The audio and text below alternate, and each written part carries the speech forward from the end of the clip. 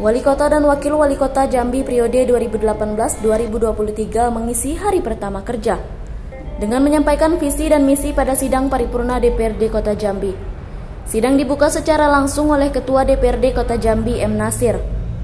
Kehadiran pasangan wali kota dan wakil wali kota Jambi tersebut disambut dengan tari persembahan di halaman gedung DPRD Kota Jambi.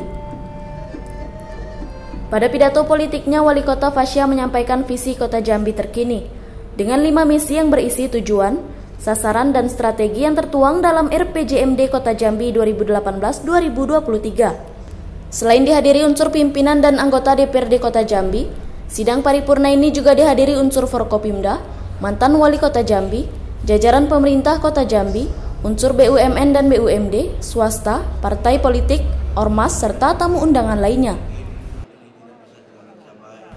Ketua DPRD Kota Jambi M. Nasir berharap dengan kembali terpilihnya Syarif Fasya yang menahkodai pemerintah Kota Jambi semakin maju.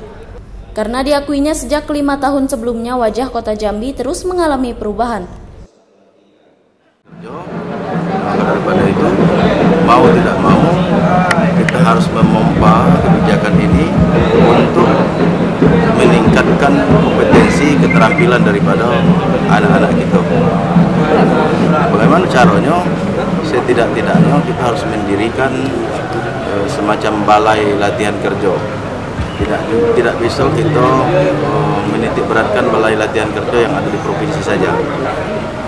Dewan sudah menginisiasi peraturan daerah tentang peningkatan uh, keterampilan tenaga kerja itu sendiri.